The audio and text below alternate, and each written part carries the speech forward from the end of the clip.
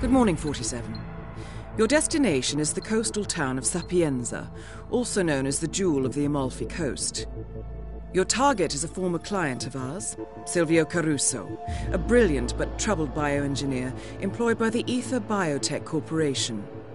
Renowned for his early stem cell research, Caruso is now reportedly working on a far more disturbing project a DNA specific virus able to infect anyone, anywhere in the world.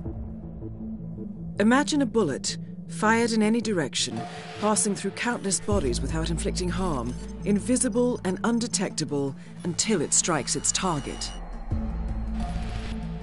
A world of armchair assassins killing with impunity.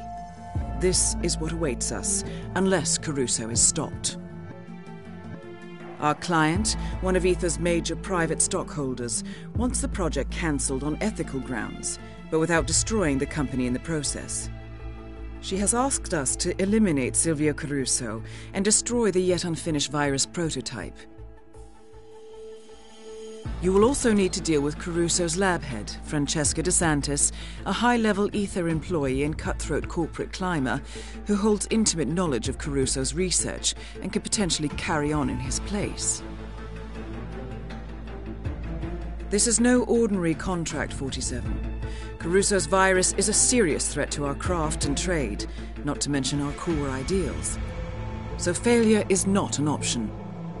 I'll leave you to prepare.